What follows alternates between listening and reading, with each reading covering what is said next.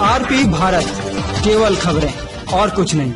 लोजपा के राष्ट्रीय अध्यक्ष जमुई के सांसद चिराग पासवान ने नीतीश सरकार पर घुमावदार निशाना साधते हुए कहा कि मैं अपनी पार्टी की तरफ़ से घोषणा पत्र के माध्यम से जनता की समस्या को सुझाव के माध्यम से लाने की कोशिश कर रखा हूँ। इसका मतलब यह नहीं समझा जाए कि मैं सरकार की कमियाँ गिना रखा हूँ। और न कि मैं सरकार के खिलाफ जा रहा हूँ। हवाई एनडीए में कोई टूट नहीं है।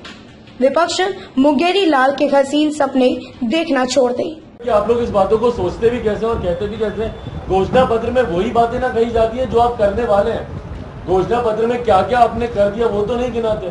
घोषणा पत्र में वही बातें जोड़ी जाती हैं जो आप करना चाहते हैं या जो आपकी सोच हो। उसी के लिए ही मैं तमाम सुझाव इकट्ठे कर रहा हूँ। और जब मैं उनको अपने घोषणा पत्र में जोड़ने की बात कर रहा हूँ या जो चीज़ें में सुधार की ज़रूरत है, जब मैं उनको गिना रहा हूँ तो आप लोग कह रहे हैं कि मैं अपनी सरकार के खिलाफ बातें कर रहा हूँ। मैं इस बात को पूरी क्लैरिटी के साथ और मैं आने वाले समय में भी हर वो मुद्दा जो जनता मेरे सामने देगी, मैं उसको रखूँगा, अपने घोषणा पत्र में उन मुद्दों को मैं जोड़ूँगा।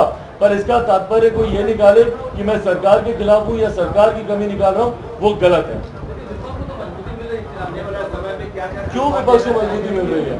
विपक्ष को कहीं से विपक्ष मुंगेरी लाल के हसीन सपने देख रहा है। अगर विपक्ष को लग रहा है कि मजबूती मिल रही है। मैं ये कह रहा हूँ कि हमने बहुत कार्य किए हैं और जो करने बाकी है, बस उन कार्यों को मैं गिना रहा हूँ। और उसमें अपने घोषणा पत्र में मैं जोड़ के गिना रहा हूँ कि इन इन चीज़ों पर अभी हम लोग काम करेंगे, ये ये चीज़ें बाकी रह गई हैं।